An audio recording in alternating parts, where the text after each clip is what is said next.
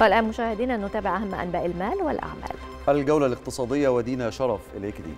شكرا لك يوسف شكرا لك إيمان والآن موعدنا مع أخبار المال والأعمال محليا وعالميا.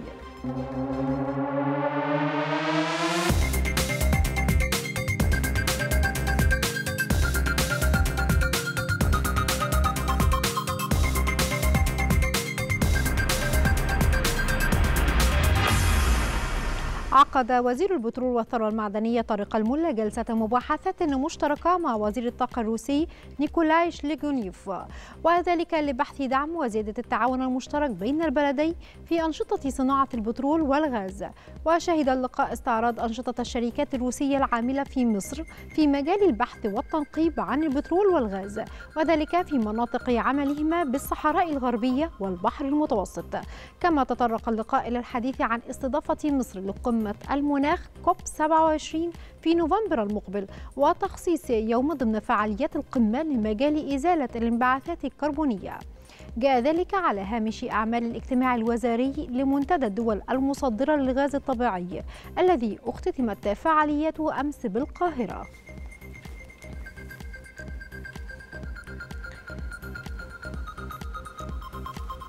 وإلى سوق المال حيث أنهت البورصة المصرية التعاملات على ارتفاع جماعي للمؤشرات مدفوعة بمشتريات محلية وأجنبية. وارتفع رأس المال السوقي بنحو 4.3 مليار جنيه ليغلق عند مستوى 720 مليار جنيه و371 مليون جنيه. وعلى صعيد المؤشرات فتح مؤشر EGX 30 عند مستوى 10475 نقطة ليرتفع بنسبة 75 من 100% ليغلق عند مستوى 10553 نقطة. وفتح مؤشر الشركات الصغيرة والمتوسطة EGX 70 متساوي الأوزان عند مستوى 2209 نقاط ليرتفع بنسبة 75 من 100% ليغلق عند مستوى 2225 نقطة. كما فتح مؤشر EGX 100 متساوي الأوزان عند مستوى 3169 نقطة ليرتفع بنسبة 82 من 100% ليغلق عند مستوى 3196 نقطة.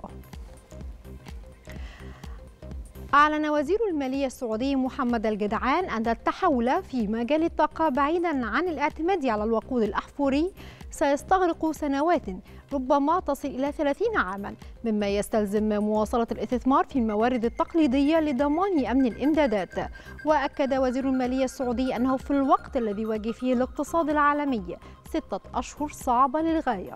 فإن التوقعات بالنسبة للدول الخليجية المنتجة للنفط جيدة جدا مع احتمال أن تظل كذلك خلال السنوات الست المقبلة.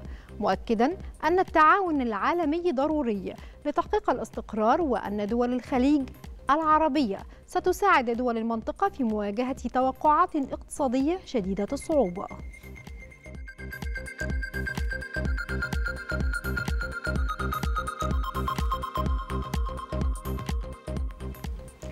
ختام أخبار اقتصاد و...